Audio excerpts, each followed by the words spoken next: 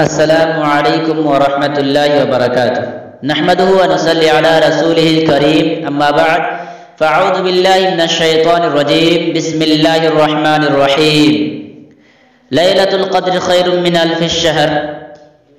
مسلمان حضرات، میں آج آپ کو اس ایپیسوڈ میں کیا شب قدر سونی یا گھومنے والوں کے لیے ہے، اس بارے میں کچھ بتاؤں گا، آپ لوگ بغور سماعت فرمائیں۔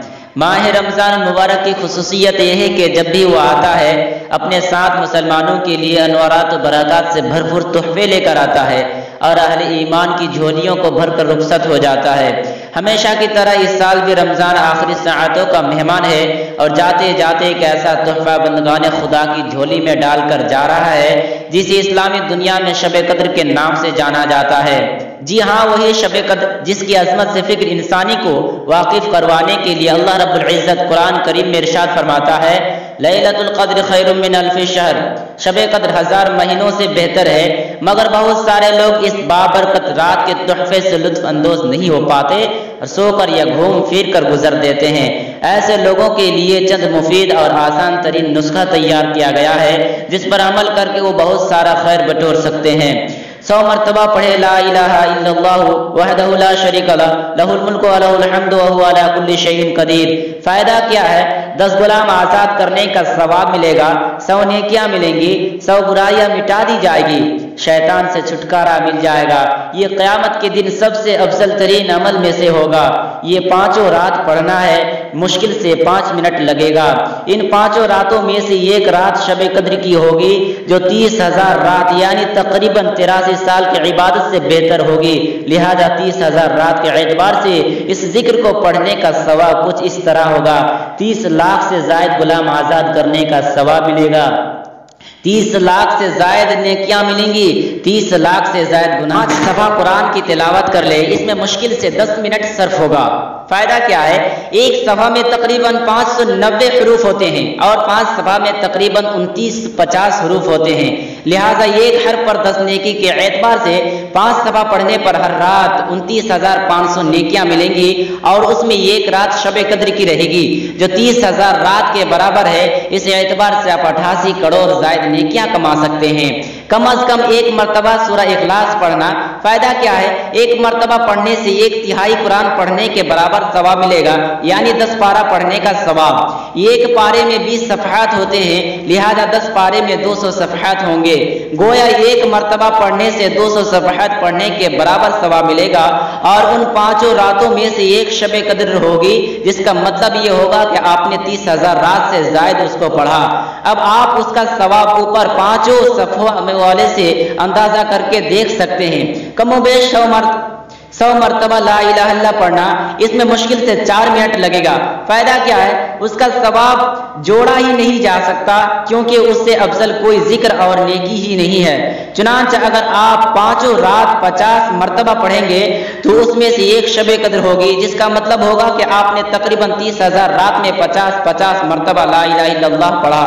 کثرت کے ساتھ ان چاروں کلمات کو پڑھے سبحان اللہ والحمد للہ ولا الہ الا اللہ واللہ اکبر۔ فائدہ کیا ہے۔ ان چار کلمات کے فوائد میں تقریباً بیس سے زائدہ حدیث موجود ہیں، جن کو بیان کرنے کے لیے کئی صفحات کی ضرورت ہے۔ سفینہ چاہیے اس بحر بکراں کے لیے۔ چند فوائد ملاحظہ فرمائیں۔ امیر صنعانی رحمہ اللہ نے لکھا ہے کہ ان کلمات کی فضیلت میں اتنی کثیر حدیث وارد ہیں کہ جنہیں لکھا لکھا اور شمار نہیں کیا جا سکتا۔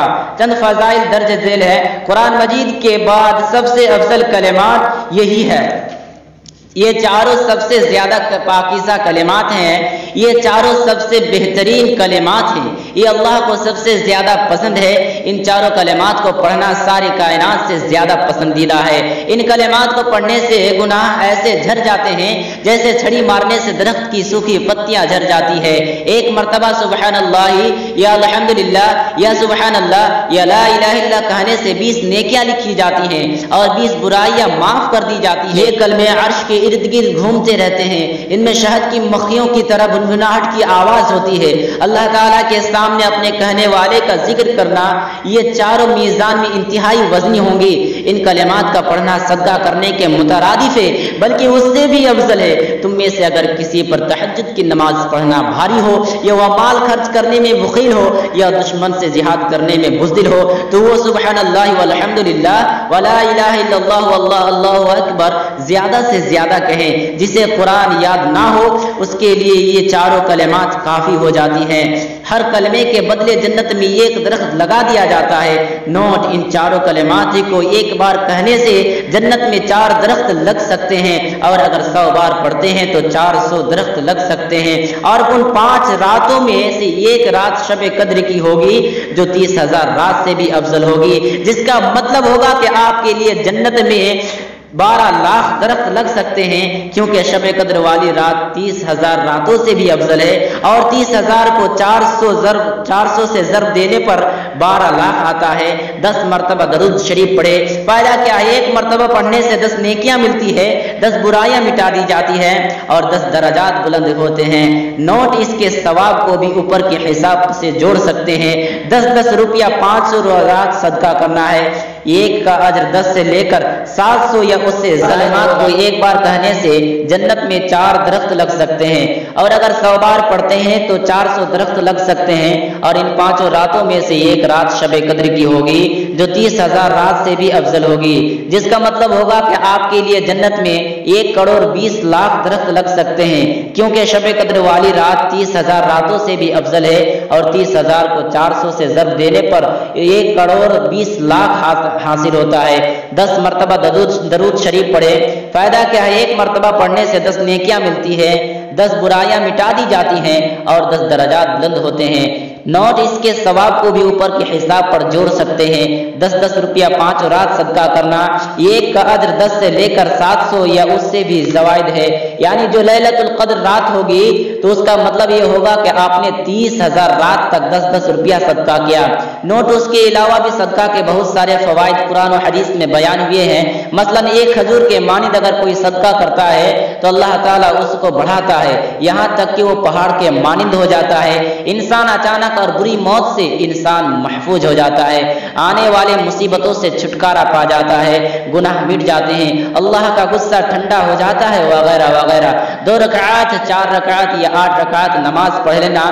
فائدہ کیا ہے؟ اگر پانچ رات آپ چار چار رکعت نفل نماز پڑھتے ہیں تو اس میں سے ایک رات لیلت القدر کی ہوگی۔ تو اس کا مطلب یہ ہوگا کہ آپ نے تیس ہزار رات تک لگاتار چار چار رکعت نمازیں پڑھی۔ یہ دعا جتنی بار پڑھ سکتے ہیں، پڑھ لے۔ اللہ تحب العفو عنی۔ یہ اللہ تو افو درگزر کرنے والا مہربان ہے اور افو درگزر کرنے والے کو تو پسند کرتا ہے، اس لیے تو ہمیں معاف درگزر کر دے۔ سبحان اللہ و بحمدہ سو مرتبہ پڑھے۔ فائدہ کیا ہے؟ اس کے گناہ بخش دیے جائیں گے، اگرچہ وہ سمندر کی جھاگ کی طرح ہوں۔ یہ تمام کام آپ بہت کم وقت میں کر کے سو سکتے ہیں۔ لہذا کم از کم اتنے کم عمل اور اتنے بڑے ثواب سے کسی بھی صورت میں سمجھوتا نہ کریں۔ سب سے اہم بات اگر سو اگر ہو سکے تو موبائل بند کر لیں۔ اس لیے کہ یہ غیر شرعی شرط کے حکم میں ہے۔ آخر میں دعا ہے کہ اللہ رب العالمین تو ہم تمام مسلمان بھائیوں کو کتاب و سنت پر چلنے کی توفیق دے۔ آمین۔ واخر دعوان الحمد للہ رب العالمین۔